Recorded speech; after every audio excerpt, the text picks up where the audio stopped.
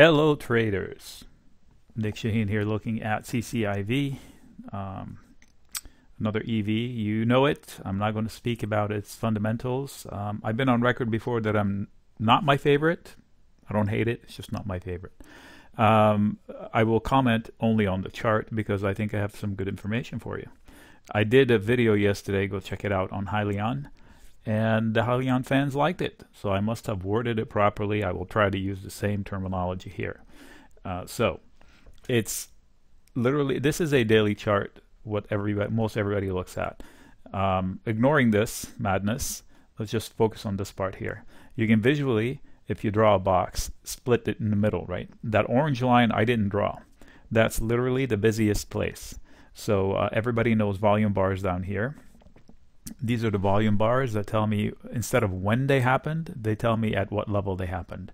It's called volume profile. If you want to study if you want to learn a new quote study on charts that is the most probably underutilized one simplest to understand and most effective because when they say price is truth that's where truth is. That's actual price. No projections nothing. It's actual price where they happen. So on the way up it's tough to go through it. They went through it and now they're using it as footing.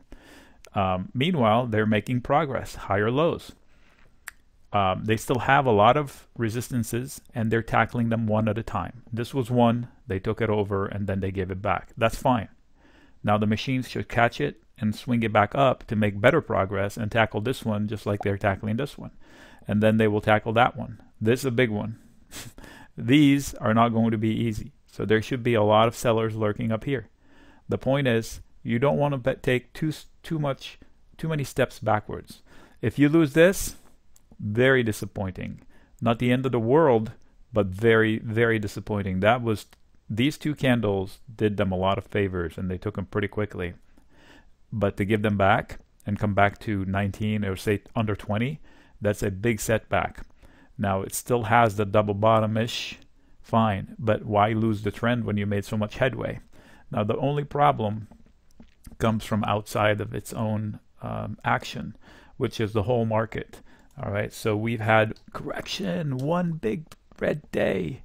It's not even big red or day. Anyway, this is a weekly chart on the S&P. Um, this is a monthly chart on the S&P. Should the markets have a little tizzy, even just to come back to the extreme levels. This is mega extreme levels. Come back to the extreme levels.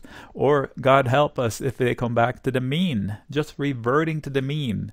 We've gone so far that a mere reversion to the mean is a 25% correction. Just reverting to the mean. The bulls will still be in charge. In fact, we are so high, if the markets fall 40%, the bulls will still be in charge. They will, quote, buy the dip. They did it here, they did it here. But look how far up we are. Why do I mention this? Every stock has to trade inside that prism. Whoop, CCIV. Monthly chart means nothing to it. There we go. This is back to the daily chart. So, moral of the story is keep the momentum going, bulls, so you don't have setbacks. And if you do have a setback, make sure you hold this 22.2. And if you lose this, make sure you hold above 20. Get get losing all of these candles would be uh, very deflating. Like why? What's the point? It's still not the end of the world because you still have the double bottom. So you get the point. I just repeated it twice. Good progress. Don't take a few steps. Don't pay, take too many steps backwards.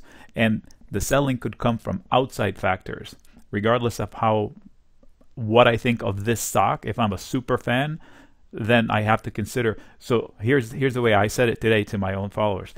If if my conviction is super high, like today I deployed a couple of trades that are conviction are super high in itself, but I knock it down a notch or two from uh, strong conviction to medium to medium at best because I don't know what the outside factors are going to do to it. So if I'm catching the falling left, say in Baba, super cheap, way oversold, but it can still go further if the market's correct. It's not going to rally by itself. All right, so trade the charts. As far as triggers, up. I did this for Hyliion yesterday. This was a trigger up. They didn't fill it, but it's not all lost. So they're still. Uh, so if you go above here, they kind of confirm this one, and this itself would be a trigger for 40. However, with a lot, a lot of selling into 32. So I anticipate that if you, they, they take this one out and they get to here, they will do something like this again. That would, would, work well with the ascending. So